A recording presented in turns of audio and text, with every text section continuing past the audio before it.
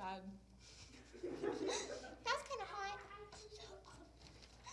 Uh, hi, I'm Coco. I'm a seventh grader. Hi, I'm Jester. I'm a seventh grader. I'm Possum. I'm an eighth grader. I'm LJ. I'm an eighth grader, and we're from Westside Middle School. We are all misfits. This is our poem, Misfits. Trigger warnings, self harm, school shootings, graphic content, bullying. Three.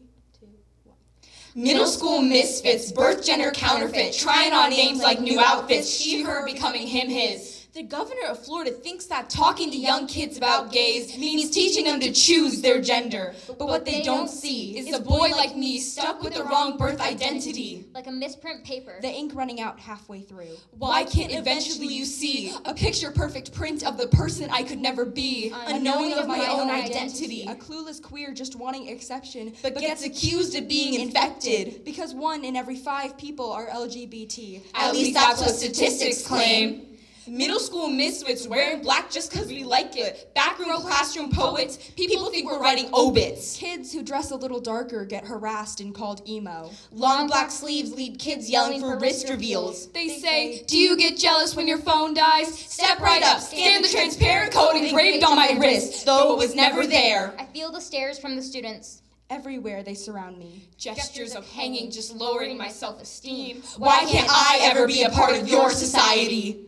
Middle, Middle school misfits, brains keep taking day trips, spaced out again and miss this. Classroom outcasts can't deny it. Stacks of unfinished homework. Binding me to my desk. burnt out brain. Won't be contained, won't concentrate, need the medication. The closest thing I have to group formation. The teacher screeches for me to pay attention. But inside, I'm simply begging. For her to understand me. The kid with ADHD. Middle school misfits, just another quiet kid. Judged by extra dimwits, I'm way too smart to fight it. Ain't trying to fit in, not a creep, just an introvert. Unconventional, a part of the fringe. Sits in six feet away from any others. Wants to be isolated. But don't worry, I'm not scared, just self isolating. Avoiding crowds just for fun.